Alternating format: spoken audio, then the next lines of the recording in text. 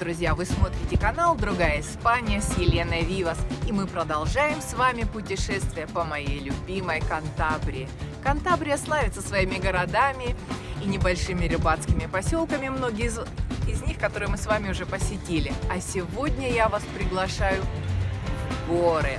Кантабрия славится своими заповедниками, национальными парками. На территории нашей небольшой автономии находится 7 природоохраняемых зон. И сегодня мы путешествуем по заповеднику Каяда де Асон, где берет свое начало река Асон с одного из самых больших водопадов в Испании. Сейчас мы с вами находимся на высоте практически 700 метров, и отсюда открываются потрясающие пейзажи на город Сантандер.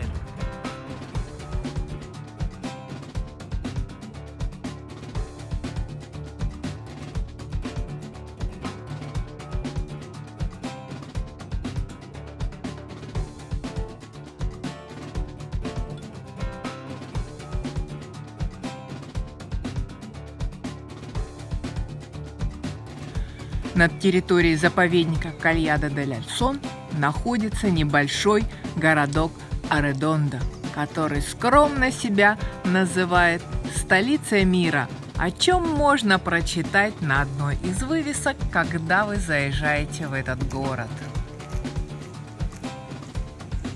Аредонда, la capital del mundo откуда у Аредонда, этой небольшой деревушки, затерянной в горах, столь высокий титул, дело в том, что местные жители в конце 19 века, как это тогда было модно, отправлялись в Южную Америку в поисках своего счастья. И жители этого городка, многие, имели там успех.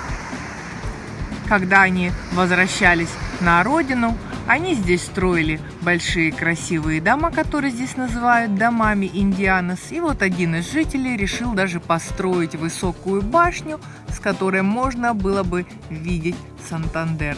Сантандера с нее, конечно, не видно, но башня является одной из достопримечательностей этого города. Фамильные гербы благородных семей тоже не редкость на домах этого городишка.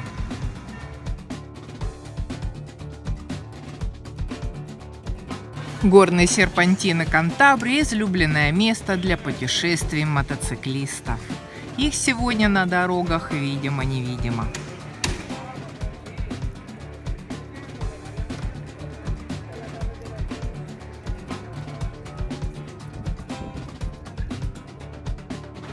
В Испании есть такие места, посещать которые лучше только зимой. Одним из таких мест является водопад реки Асон. И знаете почему только зимой? Ну потому что на лето краник в этих водопадах выключают.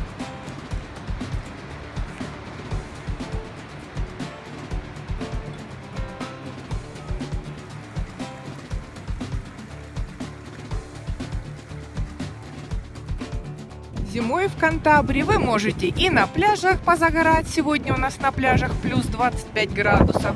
А поднявшись в горы, поиграть немножко в снежки. Упс.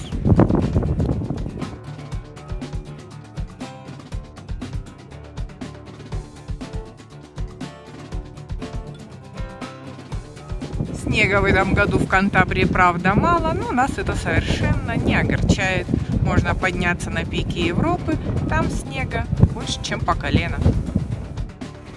По всей территории национального парка Кальяда де Асон можно увидеть вот такие маленькие сарайчики, которые в Испании называются кабанис. В них живут пастухи, которые выпасают свои стада коз и овец.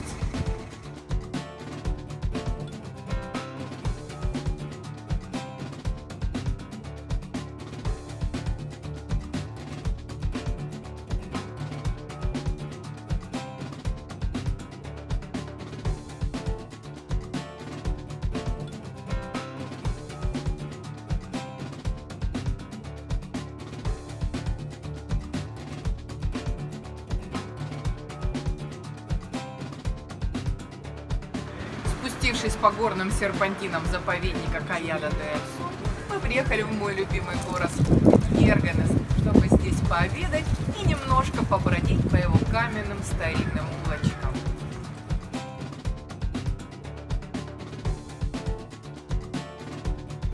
Зима – время цветения камелии, японская роза, которая здесь, на севере Испании, нашла свою вторую родину.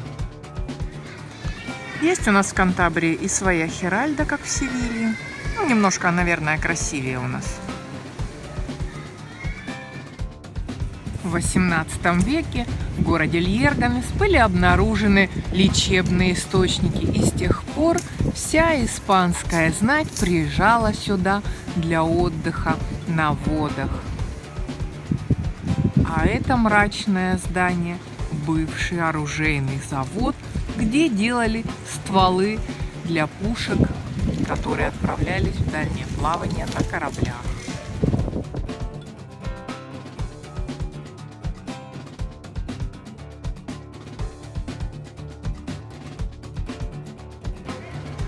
Город Льерганес – настоящий музей под открытым небом типичной кантабрийской архитектуры.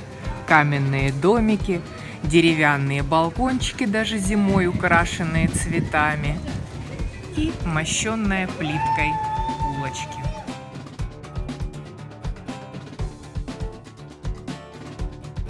Конец января, а у нас в Кантабрии уже вовсю цветет магнолия.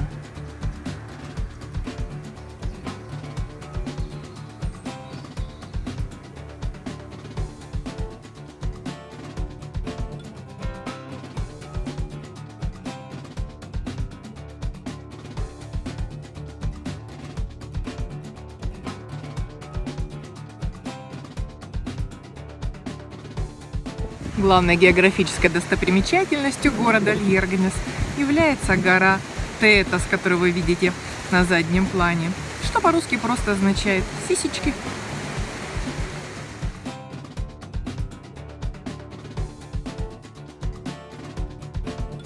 Друзья, если вам понравился мой выпуск, жмите внизу класс, подписывайтесь на мой канал и обязательно делитесь с друзьями в соцсетях и жду ваших комментариев. До новых встреч!